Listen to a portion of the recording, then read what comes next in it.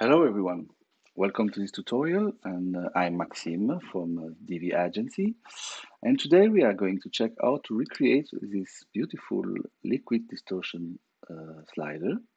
And uh, yeah I'm going to switch some slides just to make sure you see the effect here on the on the slide transition.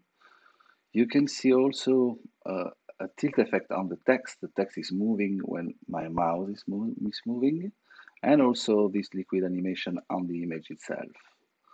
Okay, so, so these are the three animations we want to recreate. We are going to use uh, two libraries, two external libraries to complete this work, which is uh, which are uh, PixiJS and GSAP.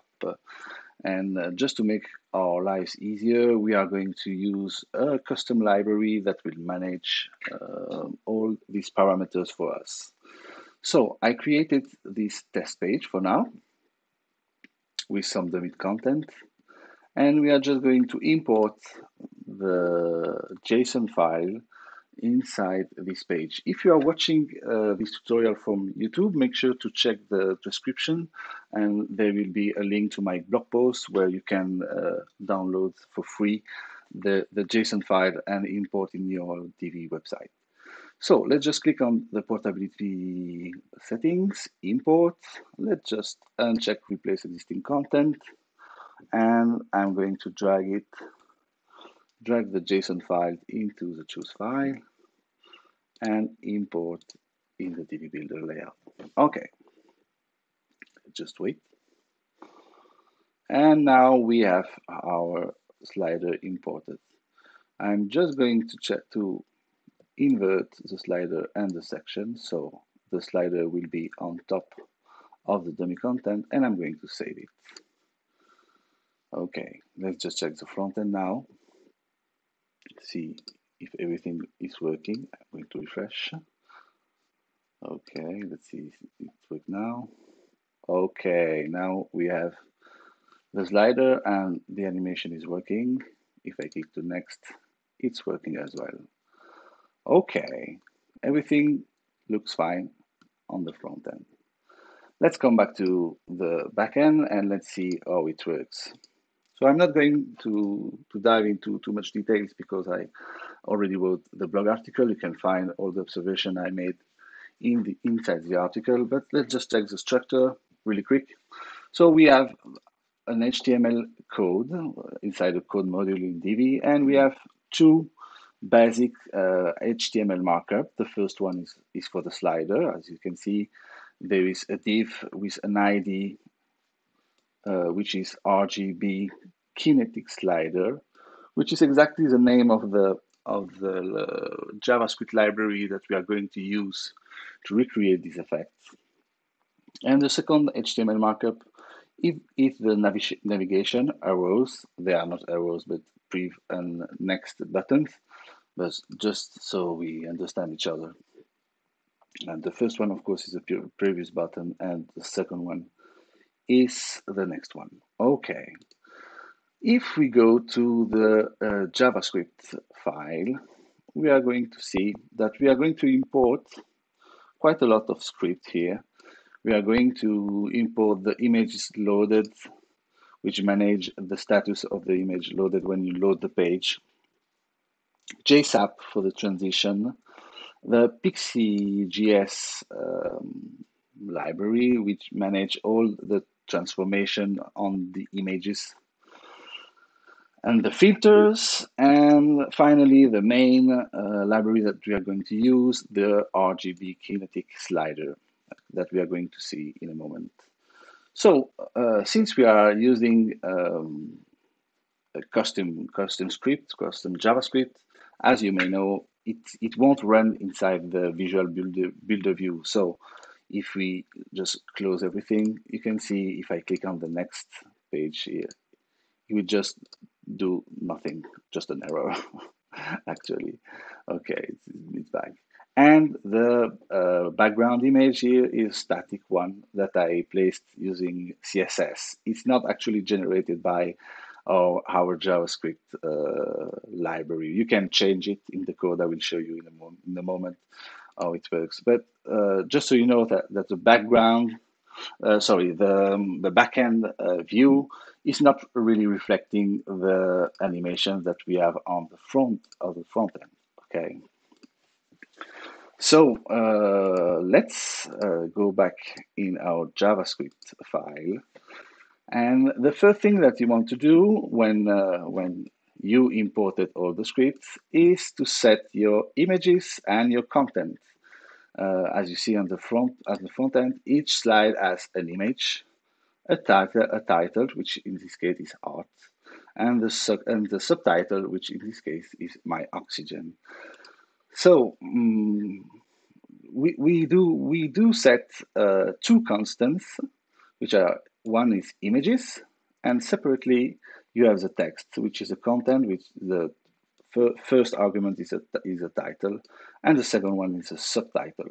Okay, so if you want to import your own images, you need to replace each of these uh, URLs with your own image. Okay, just for the text, for the test, and just to preview how it works, let's just switch the last image and put it in the first one. Let's just add it for now here. Okay. And let's just create a new title and subtitle. Okay, let's just duplicate it and we make we make test title and here beautiful uh, subtitle. Okay, let's just save for now. And once it's done, let's just refresh. Okay, now we have our new image and the main one, test title and beautiful subtitle, and it works. Okay, so this is a way to uh, switch your own images and to create your titles. Really easy. Um, the custom code that I inserted here, the first one is to manage the full width on uh, mobile phones, just to make sure it always cover the entire uh, viewport. And um, yeah, on, on mobile on mobile phone there are some uh, jump effect that we want to avoid due to the to the um, navigation bottom bar of the of the mobile browsers. So we can't really use uh, 100 uh, VH, which would be the viewport viewport height and uh, we are forced to use uh, this JavaScript function just to make sure that it always covers the, the entire screen on mobiles. And if you want to, to have more detailed information uh, on this topic, you can just read uh, the blog article, uh, and I linked uh, a really interesting article there. Okay, and the, the, second section of the of the custom code is uh, the, the slider initialization. And as you see, we, we, we import our images and our content and the text. And we are applying uh, uh, a, a, variety of, of settings here. I won't, of course, uh, describe each one because I commented on the code itself as you can see. You can just make changes and see how how the front end change based on on these uh, on these settings. But just to to make sure these uh, these uh, settings are applied and are default from the from the RGB kinetic slider library. Just one thing I want to I want to bring your attention on is the last section, the text setting and uh, there you can uh, set your Google Fonts. You can set uh, the the color of the font, the size of the font, and you have, of course, um, a way to make it uh, responsive on mobile device. So the size of the the, the, title on desktop is 125. Actually, I'm not sure if, if it reflects pixel or anything, or it's just a, a base value but of course, if you increase it, it will increase the font size, and if you decrease, it will make it, it will make it smaller. Uh, just make some tests on uh, on your real website to know uh, which value is the best for you. And uh, below we have the mobile text uh, size, and so you, you can adjust the text size based on the device. And the same for the subtitle color and size. Okay, so uh, this is an overview on how to change the images and the text. And it should pretty be, oh yeah, let's just open the CSS. It, it's really basic because all the animation are, are controlled by, by JavaScript uh, file. So we just use CSS to place the, um, the slider correctly and to be full width and full height and uh, uh, we are styling the, the previous and next buttons.